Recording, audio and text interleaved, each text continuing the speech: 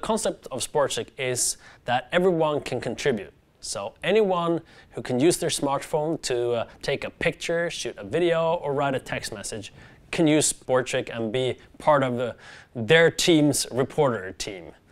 What we like to help Croydon with and what we think that they can get out of this, just like any other club on, on their type of level, is to have a, a simple app and a, a, media platform that will enable them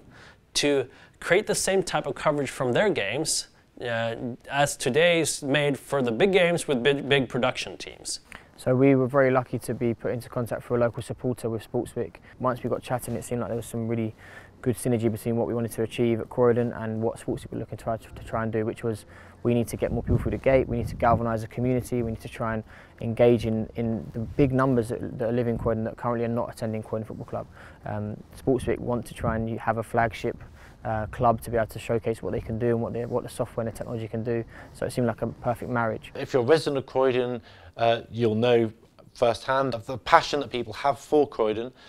and um, all the facilities available to people here.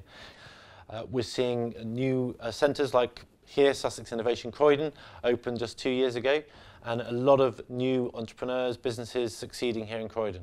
I think from the partnership Sportswik can get really positive brand association with not only Croydon Football Club and the brand and style of football we're going to play, but also with the Kinetic Foundation and the charitable endeavours which we look to, to, to do and galvanise the community and create positive change in, in Croydon. I was really excited to see, as a, as a brilliant example of, of what I'm talking about, Croydon FC embracing what's happening in Croydon and saying, yeah, we want a piece of that too. And what they've done is they've said, yeah, okay, Croydon FC is about football, but they've said, you know, how can tech help us? So they've embraced, embraced Sportswik, which is very much at the, at the cutting edge of, of technology in sports and how do you promote sports effectively and how do you use the new wave of social media and how do you capitalise all that? It's a huge step forward. The club